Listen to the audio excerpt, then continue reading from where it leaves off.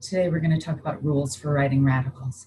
There are two rules that you need to keep in mind when you write your answers on any math problem involving radicals. The first is no radicals on bottom. Now, when you're working, you may have radicals in the denominator, but when you present your final answer, you need to make sure that you have those taken care of.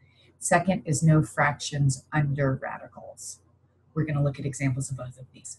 In example one, you can see that we have 1 over the square root of 3. It's breaking that first rule of no radicals on bottom because we do indeed have that radical sign on the bottom. Our strategy for these problems is going to be to multiply by the same root. That is, the square root of 3 is the problem here, so we're going to multiply by another square root of 3, both on top and on bottom. So we're going to multiply the top by the square root of 3 and the bottom by the square root of 3. On the top of the fraction, 1 times the square root of 3 gives me the square root of 3. On the bottom of the fraction, recall that the square root of 3 times the square root of 3 gives us the square root of 9, which is 3. Or the matching pairs of 3's pull out of the radical to give us the whole number, 3. Please do not try to cancel anything that's under a radical with anything that's outside of a radical. We only multiply what's outside with what's outside what's inside with what's inside. We only divide what's inside with what's inside and outside with outside. This is our final answer.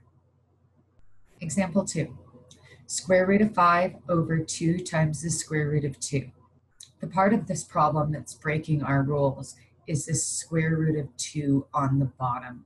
We don't mind radicals on top, but we do not like them in on bottom in our final answer. So that's what we're going to get rid of. To get rid of that square root of 2, we're going to multiply by another square root of 2. Of course, what we do on bottom, we'll have to do on top. Please remember that what's inside a radical multiplies with what's inside, what's outside multiplies with what's outside.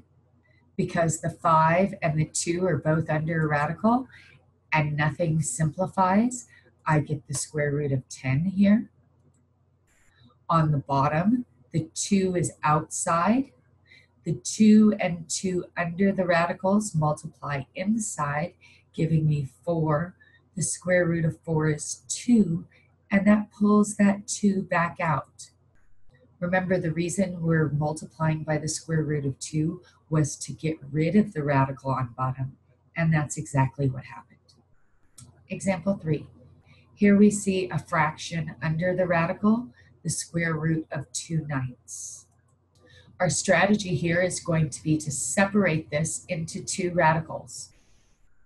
The square root of 2 ninths is the same as the square root of 2 over the square root of 9.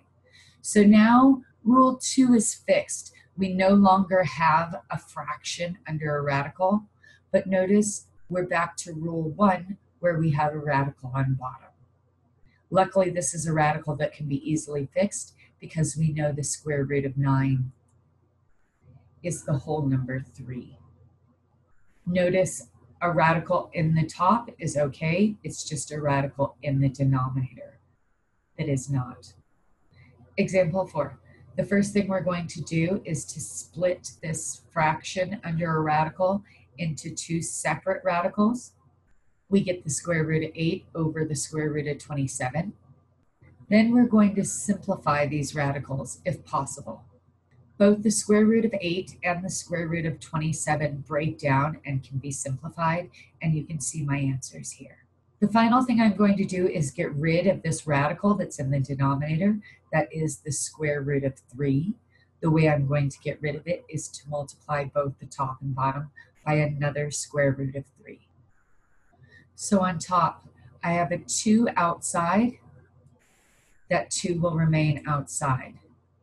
I have a 2 and a 3 inside because they don't match and no parts match. They just multiply together, giving me a 6 under the radical. On the bottom, I have a 3 outside and 2 square root of 3's, which when they multiply together become a whole number three, which comes out and multiplies times this whole number 3, giving me a 9 as my denominator. My final simplification then is 2 square root of 6 over 9. Thanks for watching. Hope this helps.